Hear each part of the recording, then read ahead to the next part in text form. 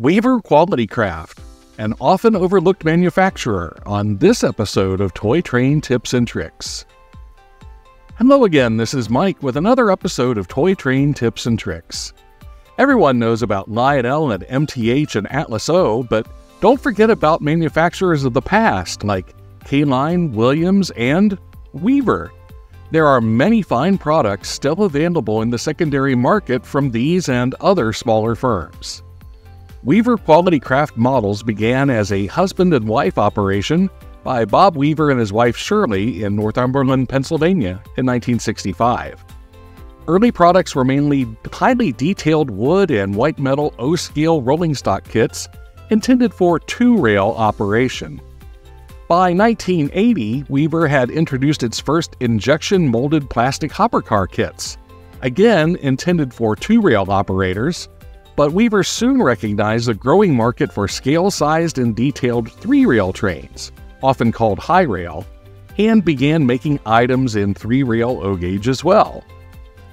In addition to plastic rolling stock, Weaver also produced a line of fine running plastic locomotives, such as this used and abused GP 38 2 model that I'm working on rebuilding, and even some highly detailed imported brass steam locomotives. In 1993, Bob Weaver sold the business to Joe Hader, who continued to expand the product line. By the late 1990s, Weaver offered a complete line of locomotives and rolling stock and ranked with Williams, K-Line, and MTH as major competitors to Lionel. However, as the baby boomer generation aged, the model train market began to shrink in the 2000s, and when Joe Hader announced his retirement in 2015, a buyer was not found for the business, and Weaver Quality Craft Models closed its doors.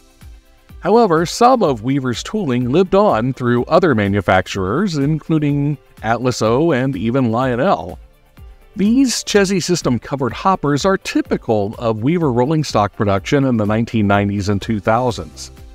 These are scale proportioned models that are intended for O31 and larger curves. The graphics are excellent reproductions of Chessie Systems covered hopper decorations. The numbers are even correct for Chessie System covered hoppers, albeit for a somewhat different design.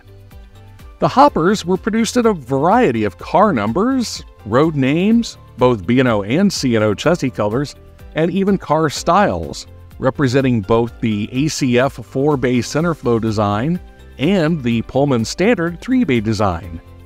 The cars were also produced with different details, such as these various roof hatches.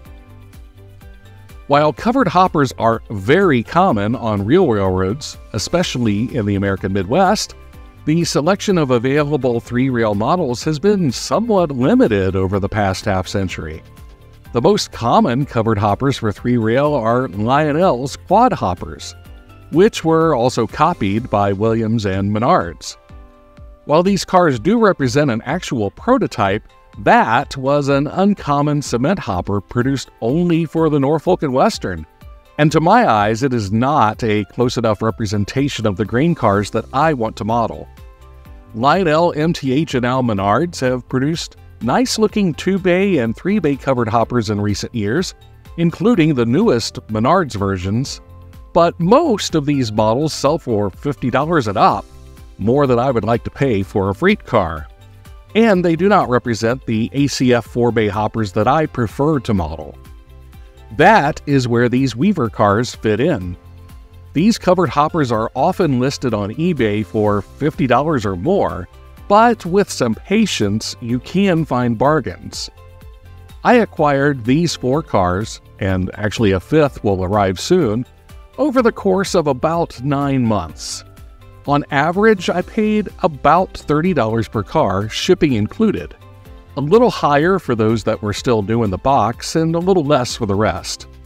And considering that Menards' new 2 bay covered hoppers retail for $35, I figured that this was a fair price for new in the box 4 bay cars. The plastic couplers on these cars are functional, although the springs are somewhat weak, so they lack a pop when they open. Still, a good tug from the neighboring car should be sufficient to open the knuckle when necessary. The plastic trucks feature simulated springs and roller bearings, and while they are not metal, their unique self equalizing design helps them overcome any imperfections in the track. The car decoration features authentic Chessie system markings and sharp, detailed graphics. Even with the plastic underframe and trucks, the cars weigh in just above my targeted weight standard of roughly two thirds the NMRA recommended weight.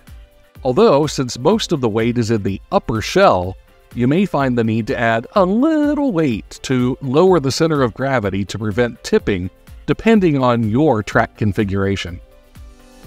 Despite their length, these cars will negotiate O31 curves, but likely not O31 turnouts, as the underframe makes no accommodation for close switch machines.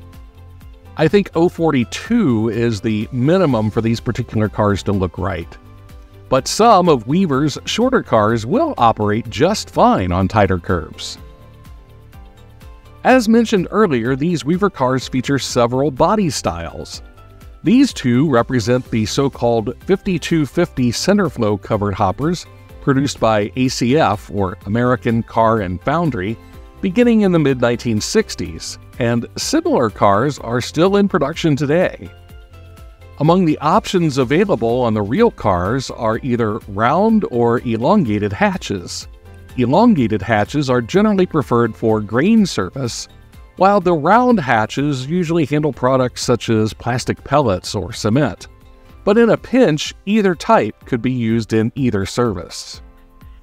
This car represents a Pullman Standard PS2 4740 covered hopper. Built between 1967 and 1972, these cars are slightly smaller forerunners of the similar 4750 cars that became some of the most ubiquitous rail cars ever built for North American railroads. Since covered hoppers in agricultural service spend several months each year parked and empty, they receive maintenance only as necessary.